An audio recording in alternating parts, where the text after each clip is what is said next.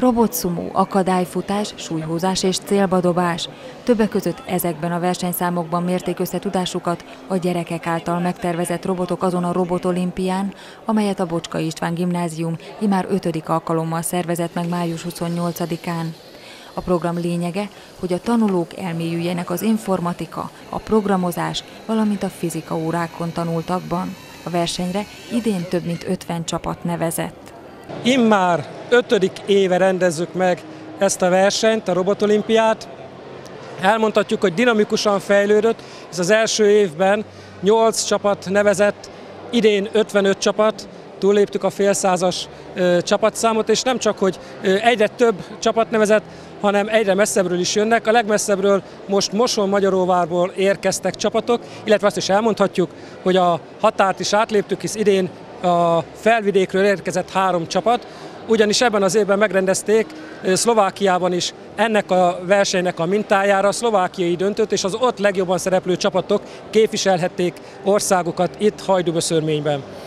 A korosztály is változó, ebben az évben 8 évestől 18 éves diákokig vesznek részt gyerekek ezen a versenyen. Azért különleges ez a verseny, van most már elmondhatjuk az elmúlt öt évben több robotika versenyt is rendeznek az országba. Ez mégis azért különleges, mert öt különböző versenyszámban kell a robotoknak megmérettetnie magukat, és mind az öt versenyszámban a robotok más tulajdonságai domborodnak ki. Olyan robotokat kell tervezni, építeni a diákoknak, amelyek mind az öt versenyszámban megállják a helyüket. Például a súlyhúzásnál az erőre kell menni, nagyon jó tapadással kell rendelkezni a robotnak, hogy sok súlyt tudjon elhúzni.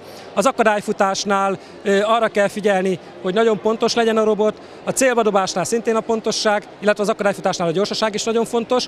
A sumo az a nagyon népszerű versenyszámot nagyon szeretik a, a diákok, mikor egymásnak esnek a robotok és ki kell tolni a pályáról, hát ott mindent, mindent egyszerre kellene tudni.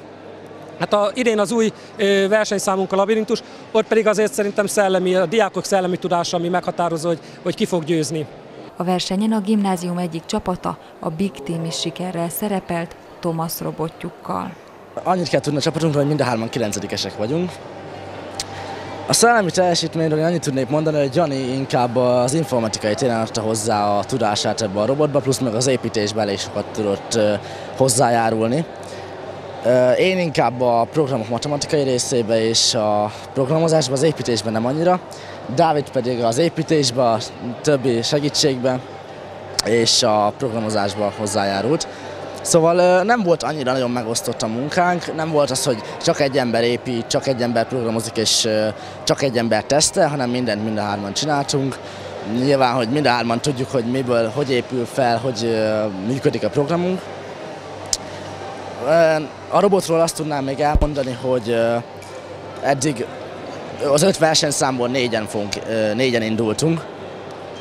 Még egy hátra van az a súlyhúzás. Eddig voltunk szumózni, akadályfutni és labirintusozni. Szumózásban egy kicsit kis akadályokba ütköztünk, mert a szenzorunk nem működött tökéletesen, és ezáltal ott elég sok pontot elveszítettünk, de az akadálypályán ott rekordot állítottunk fel. 48 másodperccel sikerült végigmenni, hiba nélkül. Labirintusba most voltunk nemrég, ott is szerintem egész jó eredményeket értünk el. Még most hátra lesz a súlyhúzás. Ennek a robotnak igazából el, az az előnye, hogy alacsonyan van a súlypontja, ezáltal elég gyors. Tapadása is viszonylag jó, bár ez, e, ezeknek a kerekeknek nem annyira jó a tapadása, de mivel négy van belőlük, így már azért így van azért nem annyira elhanyagolható ez se. Plusz igyeket, arra törekedtünk, hogy a súlyozása az mindenképpen a kerekeket nyomja jobban a talajhoz, és ezáltal még jobb legyen a súlódásunk. Nagyjából ennyit tudnék róla elmondani. Mesélj nekem arról, hogy hogyan készültetek erre a versenyre, a csapatod mióta készül, hogyan készül, és ez a robot hogyan jöhetett létre? Úgy volt, hogy nagyjából két hónapja készülünk.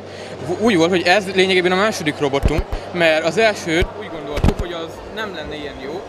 Azon dolgoztunk olyan egy hetet, egy, egy, és fél hét között, egy fél hét és egy hét között.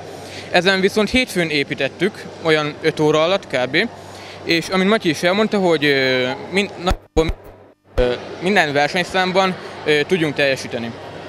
És lényegében egy a csapatotoknak most így már látva a többi korosztályt, illetve a többi csapat eredményeit, mi lehet az erőssége, mi lehet a gyengesége, mire kell jobban figyelni?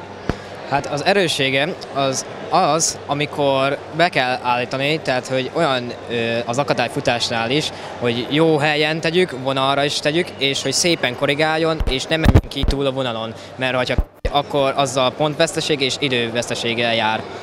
A gyenge pont az viszont ugye most is a sumo, ahogy mondták, hogy hát a szenzorunk az kicsit félreérzéket, mert mikor 23 centit, valamikor nem észlel semmit, le kell volna venni valamit, azt a motorok. Gyakorlatilag egészen jó, jó állunk. Egy, abban lennék elégedett, hogy az iskolánknak a hírnevét tovább vigyük, és hát, hogy minél jobban terjesszük ezt a robotikás szakköröket.